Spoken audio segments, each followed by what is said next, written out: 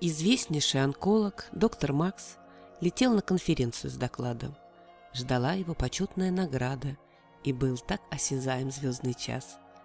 Мелькали в мыслях прожитые дни, не все в них было радостно и гладко, и вдруг, как гром, заходим на посадку, всем пассажирам пристегнуть ремни. Похоже, до утра не улететь, авария.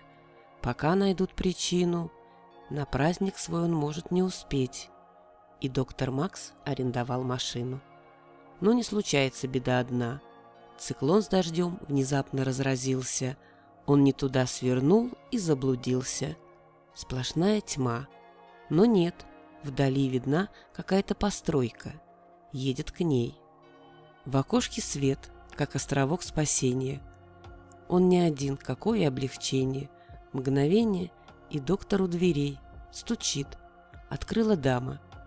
Я хочу воспользоваться вашим телефоном. Спокойствие и грусть во взгляде скромном. Входите, вы промокли. Я спешу, но все-таки вошел. Нет телефона. Есть крепкий чай и легкая еда. Погода не из лучших, и беда, когда окажешься в циклон не дома. А позже, очень мягко и тепло, она его к молитве пригласила. Но он сказал, в свои лишь верю силы, Встречаться с Божьей силой не пришлось.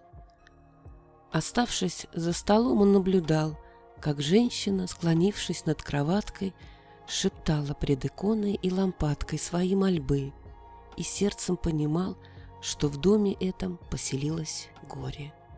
И он по окончании молитв спросил, что ее душу тяготит, и было сострадание во взоре. «Вы думаете, Бог услышит вас?» Мой сын страдает редкой формой рака. Я гибну от бессилия и страха. Но знаю, есть в столице доктор Макс, единственный, кто может нам помочь. Один единственный на целом свете.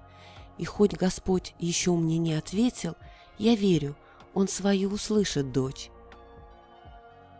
А доктор, еле сдерживая крик, расплакался – и, вспомнив все невзгоды, аварию и козни непогоды, шептал в немом восторге «Бог велик».